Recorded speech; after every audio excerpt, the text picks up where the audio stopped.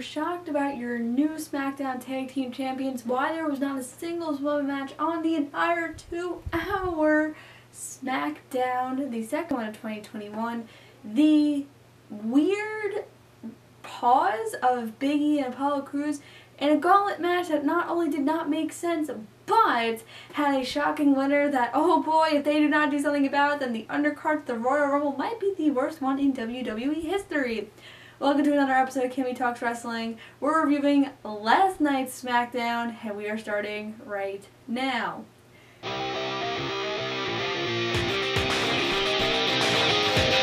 Now, over the last couple weeks, we have basically said that SmackDown is the better of the WWE's two flagship shows, Raw and SmackDown.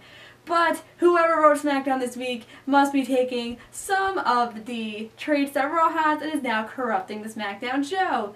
Because I'm going to start with number one. There was no women's match on the entire freaking show. There was promos. Sonya Deville is now apparently the assistant manager, which I thought was going to be Billie Kay's position because that's basically her whole freaking gimmick right now. But no, we're going to go with Sonya Deville the person who should be winning the Royal Rumble. Oh, yeah. What? Then Billie Kay apparently joined the Riot Squad, but didn't join the Riot Squad.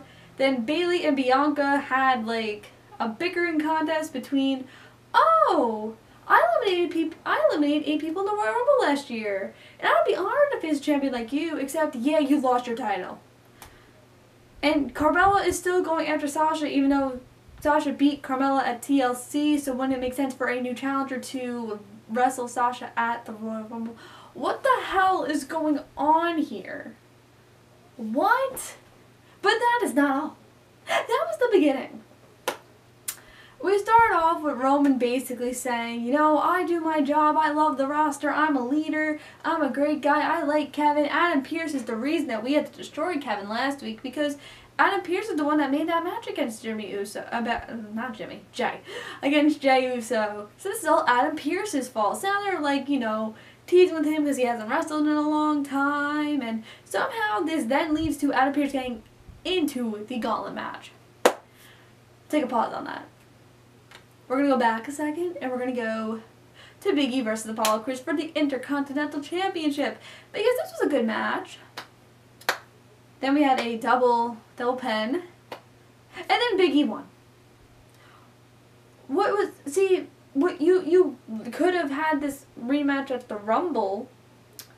You you could have had Apollo win for a moment then have Biggie just kill him. That's an option.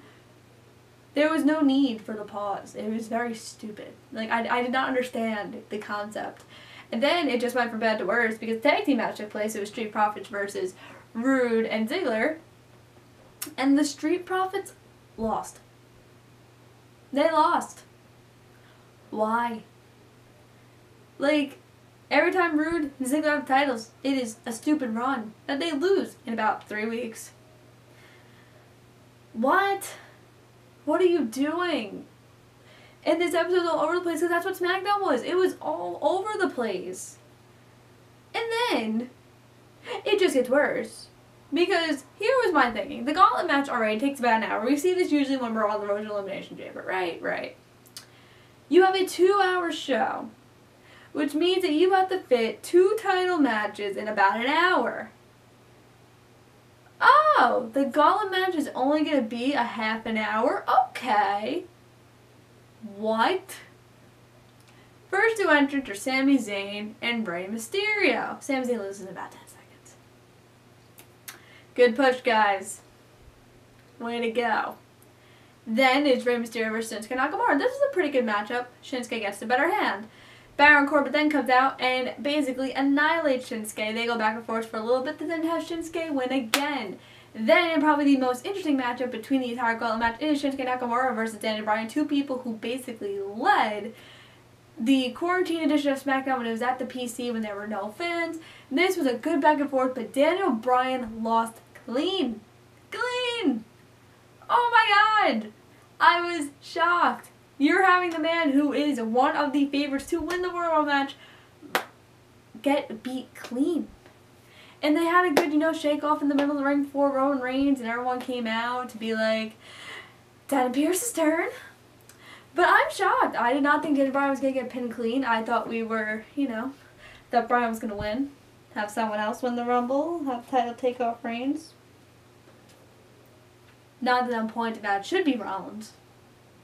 But it should have been Rollins. Anyway. Now it's Reigns and Jey. Dan Bryan left.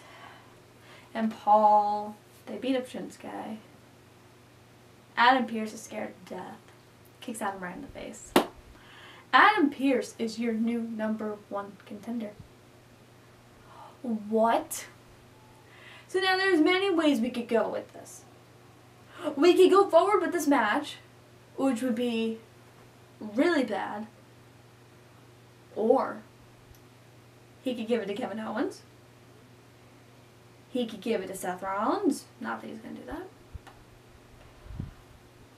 Uh, oh, what? Like, you should have just had Bryan one. You could have had Nakamura win. You literally could have had Nakamura win. That would have been a great match. What are you doing? Who like I can there be a report out of like who wrote SmackDown and like when they wrote SmackDown? I, I'm at a loss words. I have no idea. I'm literally shooting this Friday night. It's like uh, 40 minutes after SmackDown and I'm still a loss for words. Like I don't know. It's three weeks till Mania and I can't even tell you who I want on the Royal Rumble. I don't know which way you want to go. Like, I'm just so confused. Like, I don't even know. But that is my wonderful SmackDown review. That is the second rant of the week. Way to go, WWE.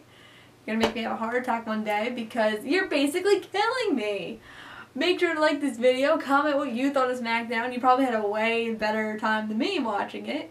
Um, make sure to subscribe, to subscribe, click that bell for notifications, and I will see you all on Tuesday for our Raw review. Hoping that Raw is better, even though they announced that Drew and Randy are going to wrestle for no apparent reason for the 18th million time.